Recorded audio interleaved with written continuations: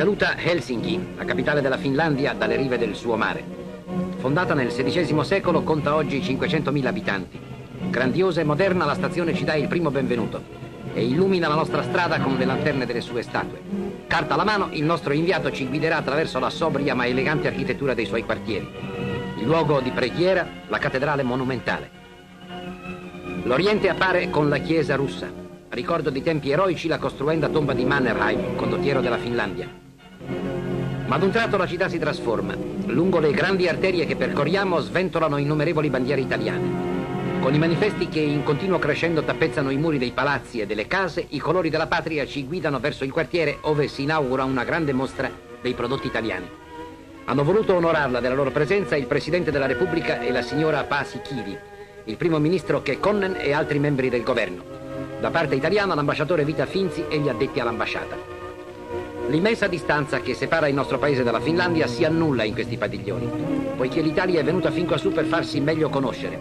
Espone le opere del suo ingegno e del suo lavoro in una sintesi completa e attraente. Il nostro valle si incontra col signor Eric Frenkel, sindaco della città e presidente del comitato organizzatore delle Olimpiadi del 52 discute con lui dei problemi cinematografici attinenti a questa grande manifestazione. Grandiosa anche la preparazione di cui vediamo eloquenti testimonianze. Accanto ad immensi alberghi per gli spettatori sta sorgendo il villaggio olimpiaco, destinato ad ospitare gli atleti del mondo intero. Tra le opere già compiute, la splendida ellisse del motovelodromo, sulla quale si disputeranno i campionati di ciclismo su pista.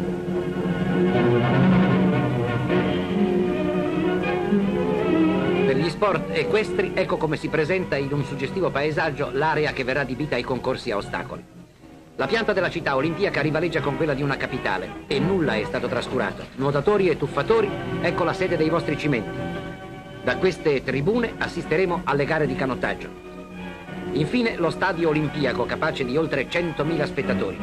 Costruito nel 38 in vista delle Olimpiadi del 40 che la guerra cancellò dal calendario agonistico, è stato ancora ingrandito dotato dei più moderni impianti, rappresenta quanto di più perfetto si possa immaginare nel campo dell'edilizia sportiva. Dall'alta torre che domina la città olimpiaca guardiamo e ammiriamo.